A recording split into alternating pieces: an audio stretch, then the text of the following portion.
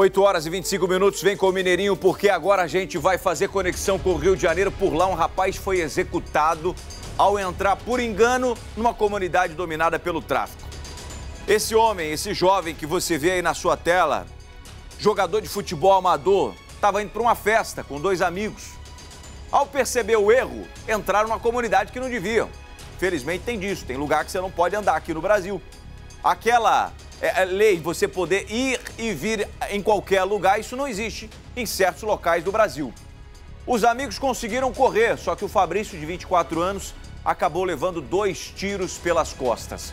O rapaz sonhava em ser jogador de futebol profissional. Eu estou com o Daniel Pena Firme ao vivo, que vai trazer todos os detalhes desse caso. Pena Firme, a gente estava acompanhando agora há pouco nas imagens, momento doloroso de despedida por parte das, das famílias e dos amigos. Muito triste para a família neste momento. Rapaz muito querido, por sinal. Como é que anda aí o trabalho de investigação? Você acha que, né, claro que a polícia vai atrás, vai tentar localizar o criminoso, mas existe essa possibilidade de encontrar quem é que atirou nesse jovem, meu irmão? Bom dia. Muito bom dia, Darlison e todo mundo ligado no Primeiro Impacto, esse fenômeno de audiência em todo o Brasil. O Robson tinha 24 anos e foi executado por traficantes do Morro do Cruz, na Tijuca, zona norte do Rio de Janeiro. Aquela coisa, a possibilidade da polícia pegar sempre existe. Basta fazer uma incursão no Morro do Cruz e ir até as bocas de fumo e os pontos do tráfico lá no Morro do Cruz. Tem que mapear direitinho a área e pegar os traficantes de lá. É só gritar pega, né, Darlison? Porque tá muito claro o que aconteceu. Esse rapaz era morador de Manguinhos, uma comunidade da zona norte do Rio de Janeiro. Pegou uma condução, um carro de aplicativo, para ir até um baile, até uma festa no Morro do Borel, na Tijuca, também na zona norte do Rio de Janeiro, que é uma área, uma comunidade carente, dominada pela mesma facção que domina Manguinhos, onde esse rapaz vivia. Só que o Morro do Borel né, tem uma pontinha dele, um pedacinho dele, uma extensão geográfica do Morro do Borel, que é uma outra comunidade carente chamada Morro do Cruz, que é dominada por uma facção rival, a que comanda o Borel e também Manguinhos. E foi por ali que eles entraram por engano. Ao entrarem e perceberem o erro, os dois amigos que estavam com o Fabrício conseguiram correr, fugiram do local.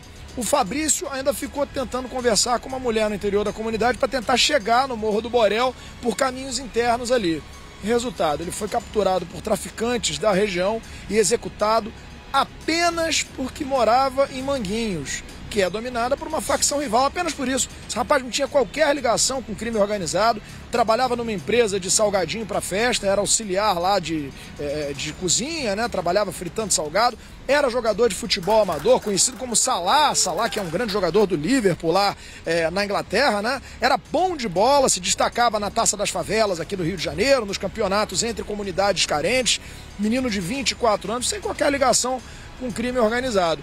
Mas o que aconteceu foi isso. Foi capturado por bandidos de uma facção rival do local onde ele mora, mesmo sem ter qualquer ligação com crime organizado. Foi executado com pelo menos dois tiros pelas costas. O corpo dele foi deixado numa rua do Andaraí, também na zona norte do Rio de Janeiro, e levado para o Instituto Médico Legal, onde foi reconhecido pela família Inclusive, o sepultamento já foi realizado ontem. O que a polícia faz agora? A polícia vai ouvir depoimento das pessoas que estavam com ele no momento em que ele entrou por engano na comunidade do Morro do Cruz, próxima ao Borel, assim como é, ouvir depoimento de amigos e familiares. Os policiais também estão em busca de imagens de câmeras de segurança da rua do Andaraí, onde o corpo foi deixado para tentar identificar quem deixou o corpo ali e que ligação essas pessoas podem ter é, com o tráfico de drogas da região. É uma vida que se perde de maneira bruta, de maneira é, banal né, e de maneira é, muito triste de um rapaz que não tinha absolutamente nada a ver com crime e teve a sua vida tirada por bandido.